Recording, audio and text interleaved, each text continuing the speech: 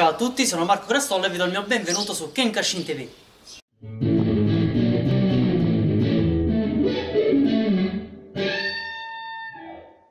Il dolore, un concetto demonizzato nei nostri contesti sociali, secondo solo al pensiero del fatto che un giorno, prima o poi, dovremo morire. Se queste mie ultime parole ti hanno suscitato un movimento improvviso della mano in direzione dei tuoi presunti genitali scacciasfiga, allora puoi constatare in prima persona il potere dei tabù.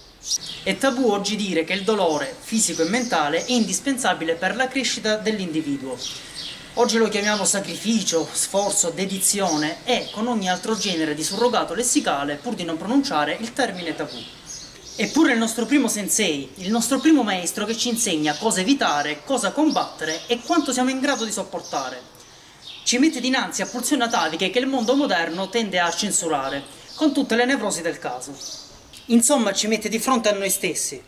Nella marzialità, la volontà di ricercare sistemi non dolorosi, ma che soddisfino al tempo stesso la nostra voglia di imparare a combattere, cioè a difenderci, crea un effetto grottesco che eh, in molti, per salvaguardare il loro ego, sono disposti ad ignorare. A tutti piacerebbe diventare come Goku senza provare dolore, ma il nostro Goku non solo ha provato tantissimo dolore, sia fisico che mentale, durante il corso delle sue avventure, qualche volta ci ha persino lasciato le penne. Il tutto per migliorare se stesso. Ora noi non abbiamo le sfere del drago e non abbiamo nemmeno la tempra di Saiyan, dunque possiamo essere meno estremi, ma non possiamo al tempo stesso ignorare la valenza didattica del dolore. Il dolore nelle arti marziali ha, tra gli altri pregi, una funzione demolitrice delle illusioni e delle tendenze speculative che una pratica free pain può generare. Non è un caso che lo zen, così spesso abusato nel nostro ambiente, veda nella percossa un metodo per riportare al presente un allievo troppo avvezzo a ricercare un misticismo ingiustificatamente sofisticato per lenire i suoi turbamenti interiori. Insomma, vede nella mazzata un metodo per ehm, evitare saghe mentali.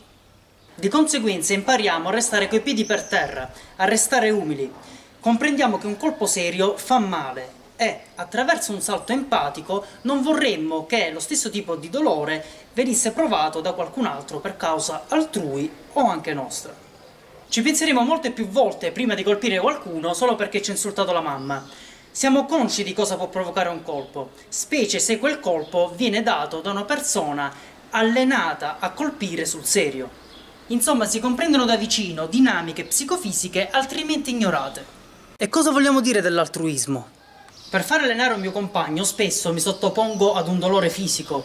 Allo stesso modo lui eh, si comporta di conseguenza con me, sviluppando un forte legame empatico di altruismo e amicizia. O ancora posso dirvi i vantaggi acquisiti in ambito di resistenza alle sofferenze e sviluppo dell'ottimismo. In uno scontro reale o metaforico con la vita, noi siamo abituati ad incassare colpi, siamo abituati agli stress fisici e mentali.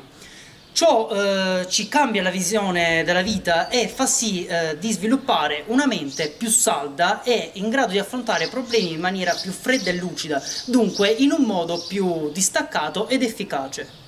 La difficoltà non ci disorienta più, ma anzi ci di stimolo. Tutto diventa allenamento. Concludendo vorrei dirvi che quando ci si allena in questa ottica si necessita di un buon maestro dotato di buon senso. Il fai da te e le esaltazioni non portano nulla di buono. Ricordate che mettersi alla prova va bene, anche duramente, ma provare più dolore di quel che siamo in grado di reggere può portare a fratture esteriori ed interiori difficilmente sanabili. Bene amici e amiche di Genkashin TV, anche per oggi è tutto, spero che questo episodio vi sia ritornato utile e che um, si sia chiarito un po' di più il concetto del dolore che sicuramente verrà approfondito nei prossimi episodi. Se il video vi è piaciuto vi raccomando di condividerlo con i vostri amici e di seguire la pagina Facebook Kenkashin TV e anche su Instagram. Noi ci vediamo prossimamente e ciao!